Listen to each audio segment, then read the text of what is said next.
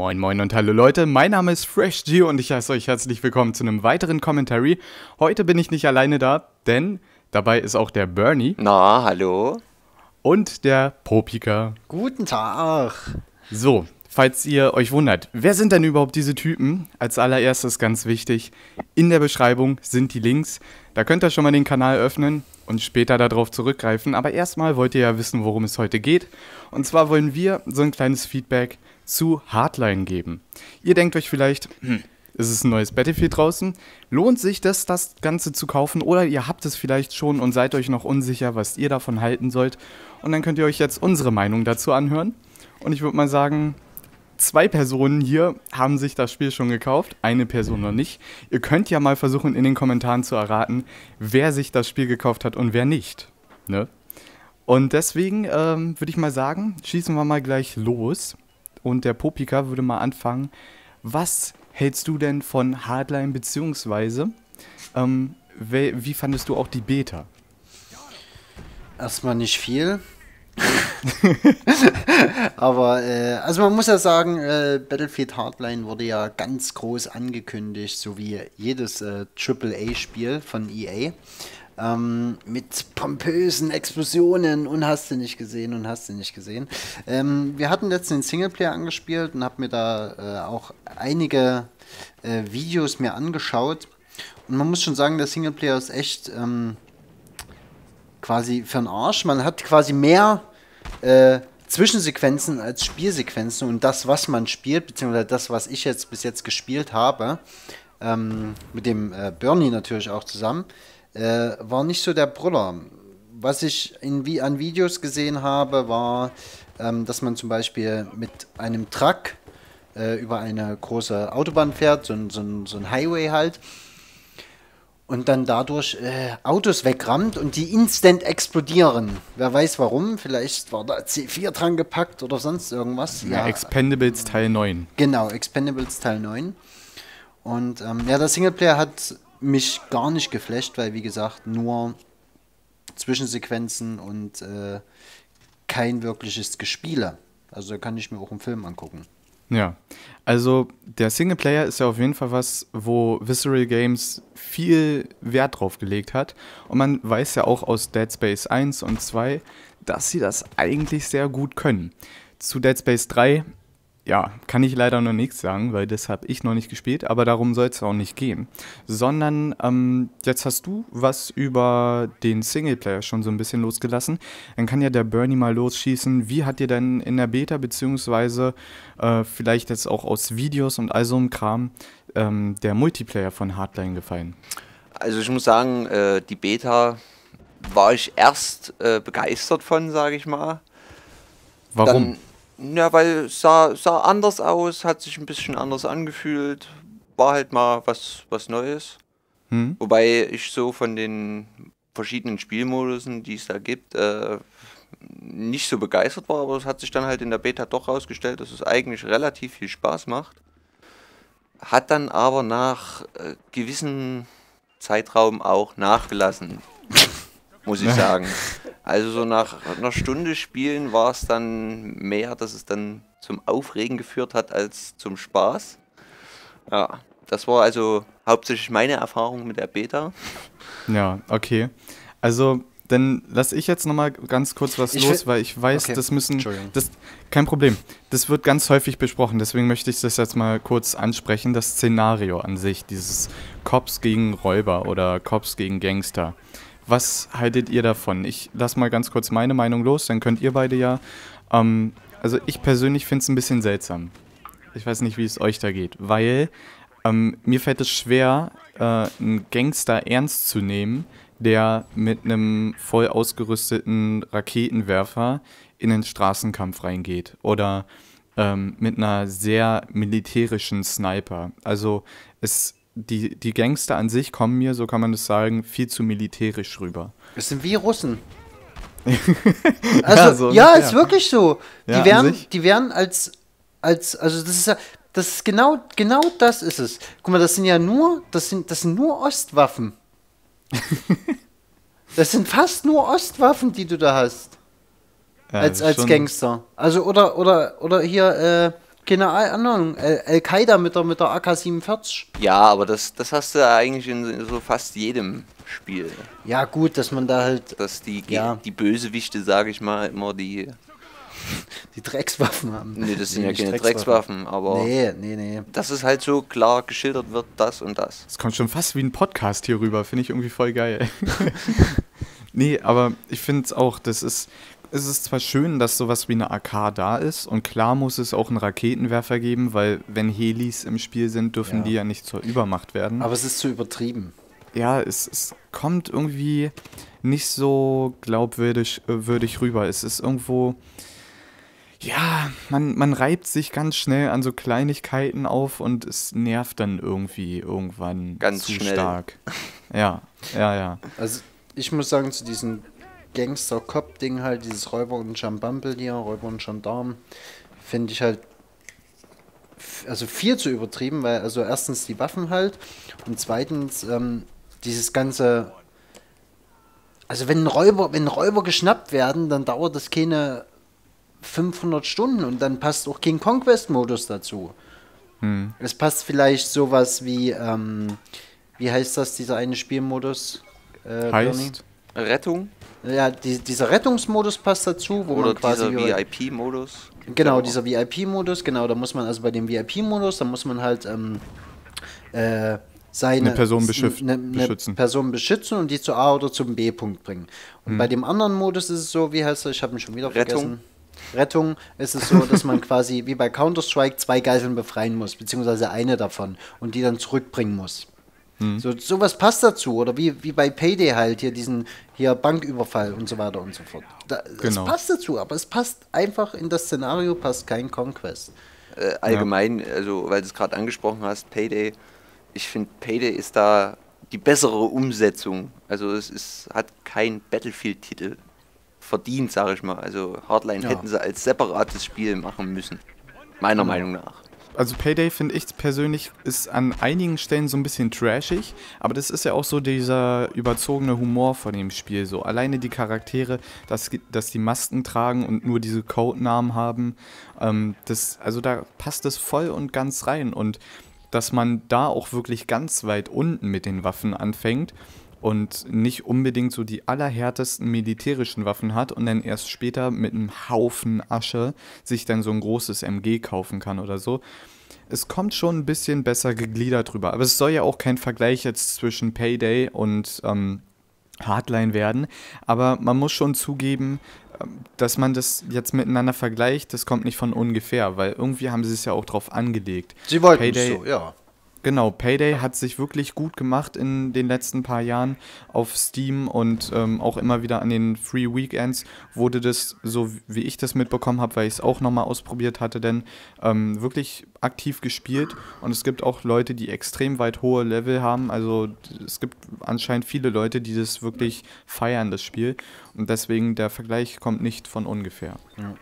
Äh, wo wir gerade bei den äh, Waffen waren, würde ich gerne mal dieses allgemein dieses Waffenspektrum mal kurz ansprechen nochmal.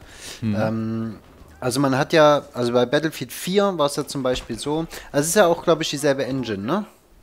An, an und für sich, ja. ja also es gibt diesmal keine riesengroßen Verbesserungen wie, in Anführungsstrichen, riesengroß, ja. wie Levolution oder sowas. Ja, obwohl Levolution gibt es ja auch. Ja. Aber nicht so aber in dem Ausmaß, es, genau. Genau, es ist jetzt nicht nochmal irgendwie Levolution 2.0 oder so. Ja. Ähm, wie gesagt, bei, de, bei den Waffen muss ich äh, ansprechen, dass es einfach nervt, wenn ich bei Battlefield 4 eine Granate werfe, dann hat die auf so einer riesigen Map, also stellt euch zum Beispiel mal, also die, die jetzt auch zuhören, stellt euch mal Golmutbahn vor und stellt euch ähm, bei Battlefield Hardline vielleicht mal den, äh, die Map äh, Hollywood Heights vor. Also die, die Hollywood Heights da, diese, wo die ganzen Häuser stehen, da, diese dunkle Map. Mhm. Da werfe ich mit einer Splittergranate, werfe ich äh, in, auf Golmutbahn, werfe ich eine, eine, eine Splittergranate, die trifft jemanden. So, der ist aber nicht tot. Bei Battlefield Hardline werfe ich eine Splittergranate und der stirbt instant. Egal wie weit der, habe ich zumindest manchmal das Gefühl, wie weit der von der Nate weg ist, ich treffe immer jemanden. Also bis jetzt war es, also kam es nicht oft vor, wo ich keinen getroffen habe. Also die, mhm. diese Relation zu den kleinen Maps, also die Maps sind halt echt klein und zu dem, zu der, äh, zu, der, zu den äh, Waffen ist halt auch nicht gegeben halt irgendwie. Und das hat man auch ganz oft bei, ähm, bei den ganzen normalen Maschinengewehren oder sonst irgendwo, dass die halt viel zu stark sind auch. Ja, und ähm, da sind wir eigentlich auch schon wieder beim Thema, was sich hier ganz gut mal von Bernie vielleicht wieder beantworten lässt, weil du hast ja auch viel Counter äh, Call of Duty gespielt, nicht Counter-Strike. Ja. ähm, und zwar, wie findest du die Geschwindigkeit von dem Spiel? Es ist ja wirklich, das kann eigentlich keiner abstreiten, egal ob der das aus Videos gesehen hat oder ähm, sogar schon selbst gespielt hat während der Beta oder auch jetzt am Ende. Wie gefällt dir das, dass das Spiel so extrem rasant geworden ist? Also ich muss sagen, die Geschwindigkeit finde ich ist, ist okay. Also ich finde es jetzt nicht schlecht, ich finde es auch nicht gut. Also habe da eine sehr neutrale Einstellung. Allerdings finde ich, alles andere ist durch die Geschwindigkeit sehr unübersichtlich geworden. Ja. Mhm. Also ich, ich stehe manchmal da und gucke, ja, da ist ein Gegner. Ist es ein Gegner? Und dann ploppt erst so das Symbol oben drüber auf und dann weiß ich erst, ach, das ist doch ein Gegner, kein Teammitglied. Ach, ich schieß mal drauf. Und da das bist hat du man auch ganz auf beim Snipern auch, ne? Ja, und da bist du halt schnell mal irgendwo, dass du dich dann aufregst, weil du dann zu lange gewartet hast oder geguckt hast, äh, dann bist du halt tot und dann regst du dich halt ganz schnell über sowas auf. An mhm. sich ist aber, wie gesagt, also die schnelle Spiele ist ja mal immer was anderes. Haben sie gut umgesetzt, aber ich finde den Rest, der ist dann zu unübersichtlich, beziehungsweise halt, wie Popi schon sagte, äh, dass die Maps dafür dann zu klein sind und zu verwinkelt. Also man, ich, ich persönlich habe das Gefühl, man, man, man muss nichts mehr können. Man muss ja. einfach nur noch irgendwo sich in eine Ecke hocken und einfach nur warten. Und reinrotzen. Und einfach nur reinrotzen, genau. Du musst halt nicht mehr zielen können und, und, und es ist einfach nur noch so, dass halt wahrscheinlich jeder irgendwo ein paar Punkte machen kann, um zu leveln, sage ich jetzt mal. Dann ist ja auch noch ein Punkt, den ganz, ganz viele wahrscheinlich ankreiden werden oder sich Gedanken drüber machen oder vielleicht einfach das von uns jetzt wissen wollen. Wenn das Spiel schneller geworden ist, heißt es denn auch für euch beide, äh, dass es gleichermaßen an Strategie und Taktik verliert? Ja. Jein. Also, also es ist, ich muss sagen, es ist ein komplett anderes Spiel. Man darf das nicht so spielen wie Battlefield 4. Man muss versuchen, taktischer vorzugehen. Mir ist aufgefallen, dass ich persönlich, ich renne viel zu schnell irgendwo in eine Situation rein. Man muss halt auch mal stehen bleiben, sich hinhocken, gucken, ah, da könnte einer kommen, da könnte einer kommen und dann. Ja, wenn du, wenn du zu lange wartest, kommt von hinten wieder einer rum. Da haben wir nämlich das nächste Problem mit den Maps, dass die nämlich, dass die viel zu, also die sind, die sind, erstens sind sie, wie gesagt, viel zu klein und zweitens sind sie halt, wie du vorhin schon gesagt hast, ähm, zu verwinkelt. Das heißt also, wenn, wenn du wenn du, wenn du länger wartest, kann es sein, dass von hinten schon der nächste, dass von hinten schon der nächste Gegner kommt. Und ein 64-Mann-Server für solche kleinen Maps ist viel zu übertrieben. Da können wir ja, ja gleich dann auch noch auf Spawn-System ja. zurückgehen. Genau. Also ich hatte es jetzt auch schon so oft gehabt, dass äh, ich direkt in der Nate gespawnt bin. Direkt vorm Gegner gespawnt. Also weiß ich nicht, was sie sich dabei gedacht haben. Bei Battlefield 4 war ich es gewohnt, ich habe jetzt, ich wollte jetzt bei C spawnen, da bin ich 150 Meter von C entfernt, hat mich der Computer hingesetzt, laufe los. Jetzt setzt er mich genau in, in die Gefechte rein. Bei Team Deathmatch zum Beispiel. Zum Beispiel. Oder wenn du nirgendwo spawnen kannst. Wobei ich das bei Team Deathmatch vielleicht noch verstehe, aber ja. bei Conquest verstehe ich überhaupt nicht. Genau. Und da muss man jetzt vielleicht auch an ein paar Zuhörer vielleicht sagen, die jetzt vielleicht ja Hardline-Fanboy sind oder sowas, was ja alles nicht schlimm ist. Es hat ja alles sein Für und Wider und wir wollen jedem seine offene Meinung noch übrig lassen. Das äh, wollen wir hier auf jeden Fall nicht irgendwie supporten, dass wir euch unsere Meinung aufdrücken, aber wir reden wirklich davon, dass wenn man im eigenen Spawn spawnt und nicht bei Freunden, weil wenn man bei Freunden spawnt, dann bekommt man ja auch angezeigt, wo die gerade rumrennen und ob es da gefährlich ist oder nicht, ähm, dann ist es natürlich klar, dass man ganz schnell mal irgendwie mitten im Feuergefecht oder im Kreuzfeuer oder in einer Granate spawnt. Aber wir meinen halt wirklich, dass, dass die Spawns viel zu offen sind. Also ähm, wir hatten auf der Map, ähm, das war der Modus Heist und es war so eine riesengroße Bank. Ich glaube, die Map hieß Bank Job und da gab es einen Garagenbereich, wo die, ich nenne es jetzt mal Terroristen oder Gangster, direkt vor dem Eingang gespawnt sind und auch in der Gasse dahinter. Und ähm, eigentlich mussten sie dann entweder den mittleren Weg, ich nenne es jetzt mal Lane, so wie in League of Legends oder auch teilweise in Counter-Strike, da mussten sie entweder die mittlere Lane pushen, die ähm, rechte oder linke oder Top- und Bottom-Lane und ähm, das waren in diesem Fall einfach die Garage, die rechte Straße oder die linke Straße. Und es war so einfach, äh, diesen Bereich einfach zu blockieren. Es, ähm, ja, da, da, sind wir eigentlich schon wieder so ein bisschen bei diesem Punkt zu verwinkelt und zu eng und klein und zu viele Leute auf der gleichen Map. Man konnte ultra easy äh, die Leute vor ihrem Spawn einfach ähm, immer wieder ja, wegsnipen. Oder noch nicht mal snipen, also nicht im Sinne von Sniper und Schießen, sondern auch einfach mit einer Schrotflinte, die sowieso auf den kleinen Maps sehr OP rüberkam. Ähm, sieht man ja auch an meinem kleinen Video, da wo ich äh, Destroy, habe ich das glaube ich genannt. Und das ist einfach lächerlich, wie man da mit der Schrotflinte durchrennt und einfach jeden in den Gängen nur einmal erwischen muss und der ist sofort down. Ähm, kommen wir mal zu einer Kleinigkeit, die mir aufgefallen ist. Und ich weiß nicht, ob sie euch auch aufgefallen ist. Ein paar klitzekleine technische Verbesserungen sind mir nämlich aufgefallen. Und zwar was das Nachladen betrifft. Ich weiß nicht, ob das jeder bemerkt hat in der Beta oder jetzt auch im, im fertigen Spiel. Ich habe ähm, regelmäßig mit einer Sniper gespielt und mir ist aufgefallen, dass wenn ich ein ganzes Magazin nachgeladen habe und er dann nochmal eine Kugel nachgeschoben hat oder ähm, nochmal einfach nur den Zug zieht, damit dann die erste Kugel aus dem Magazin im Lauf landet. Dass die, dieses, diese Nachladesequenz unterteilt war in einzelne Sequenzen. Das heißt, ich konnte natürlich beim Rennen nachladen, das ist ja typisch für Battlefield, aber wenn ich dann irgendwo rübergesprungen bin oder so, oder mich hingeschmissen habe, dann wird es ja unterbrochen. Und sagen wir jetzt mal, ich lade das Magazin rein und ducken mich dann oder springen irgendwo rüber, dann hat es nicht nochmal alles von vorne angefangen, sondern nur dieses Nachladen mit dem Zug zum Beispiel kam dann noch einmal, damit dann wirklich die Kugel im Lauf landet. Und das finde ich ist eine Kleinigkeit. Das ist nicht ganz, das ist nicht ganz richtig. Das war bei dir nicht so? Nee, also ich Bei mir auch also, nicht. Also das, das Ding ist halt, der macht, der fängt eine Animation an, also die Nachladeanimation. Ich springe irgendwo drüber und will nochmal R drücken, aber es geht nicht, weil ich dann sehe, ah, er hat es schon automatisch gemacht. Also wie bei Battlefield 4, genau dasselbe Problem. Okay, also bei dir fängt er dann nochmal von vorne an automatisch nachzuladen. Genau, ja. Also nee, die, na, also die Animation macht er dann nicht mehr, aber die Kugeln stehen unten drin im Magazin. Also im, ah, im okay, HUD. du hast die, du hast sozusagen die Animation gecancelt. Genau, die Animation ist, ist futsch, wenn ich irgendwo drüber springe oder mich ducke.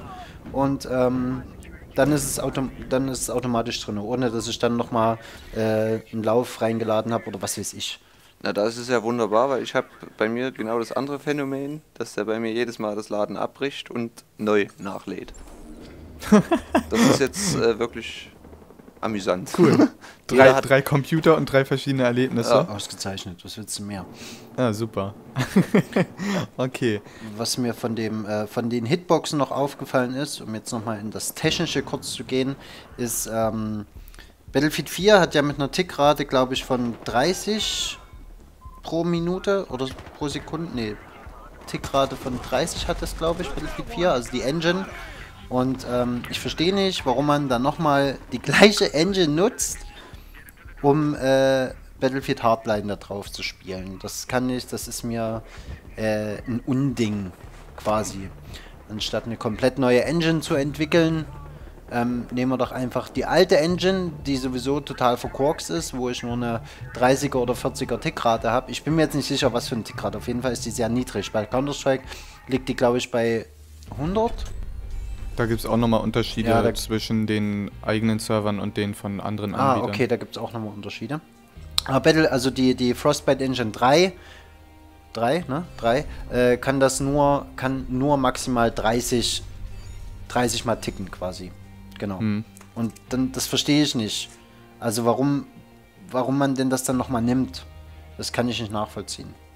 Ja, dass das halt wirklich nur ein spärlicher Fortschritt von Battlefield 4 zu Hardline jetzt spürbar ist. Technisch, technisch damit, gesehen, ja. genau, ja. Das ist echt ein großes, großes Problem.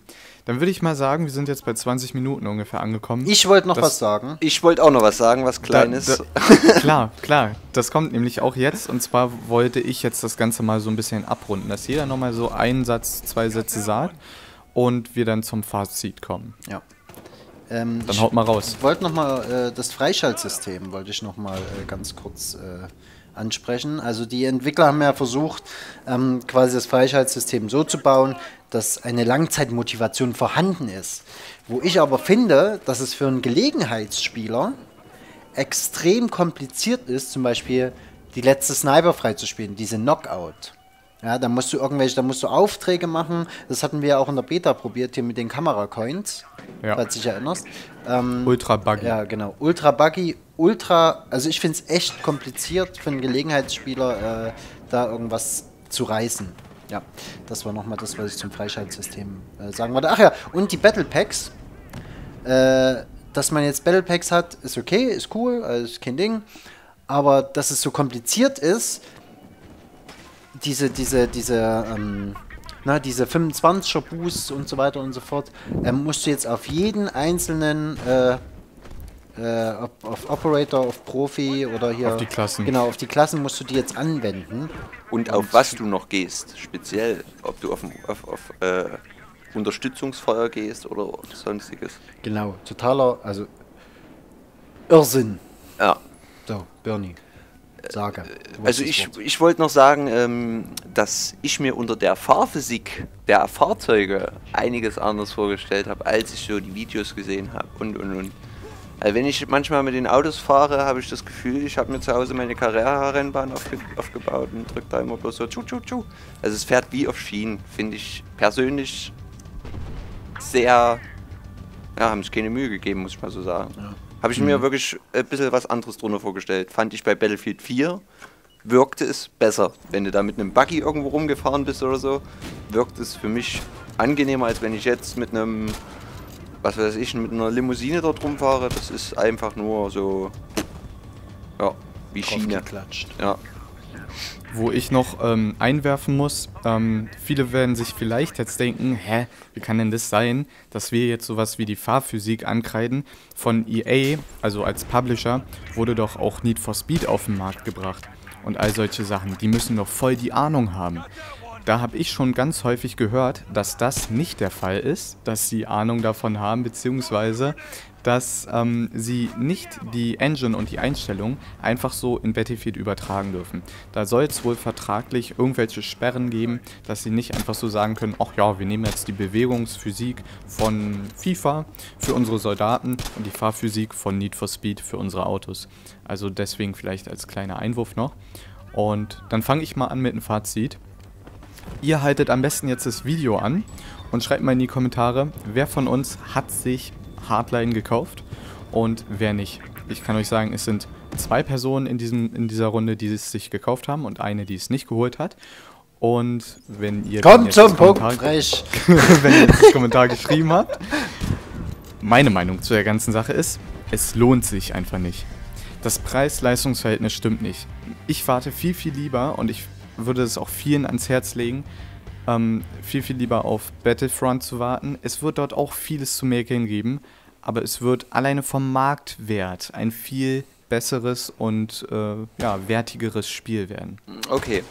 Also für alle, die, sag ich mal, Battlefield, äh, sag ich mal, vom ersten Teil bis zum jetzigen Teil immer gespielt haben, für dieses, sage ich mal, trotzdem ein Muss, weil gehört mit rein. Aber für die Leute, die jetzt so sich am Überlegen sind, kaufe ich es, kaufe ich es nicht, ich würde es nicht empfehlen. Zumindest würde ich erstmal noch warten, ob da noch eventuell gewisse Sachen nachgepatcht werden.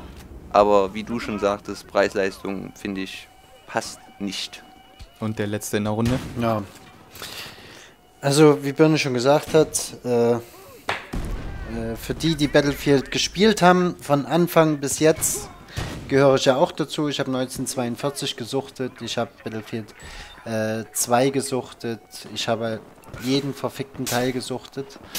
Und äh, muss sagen, dass mir, dass dieses Spiel eine Frechheit, eine bodenlose Frechheit ist, ähm, sowas überhaupt auf den Markt zu bringen. Unfertig wie eh und je. Aber man kauft sich halt trotzdem. Ich würde es nicht empfehlen zu kaufen. Ähm, ich merke es auch an den Servern, dass sie halt ziemlich leer sind. Also ich finde nie, also schon volle Server, aber das sind nicht viele. Ähm, kauft es euch nicht. Dann wartet lieber vielleicht noch ein halbes oder dreiviertel Jahr, dass es irgendwie günstiger schießen könnte in irgendeinem Amazon-Ding oder was weiß ich. Ähm, nein, keine Kaufempfehlung von mir. Gut, ja. ja. Dann würde ich mal sagen, war das äh, eine super Runde ja. aus meiner Sicht. Ja. ja. Wir hoffen, dass es euch irgendwie was gebracht hat.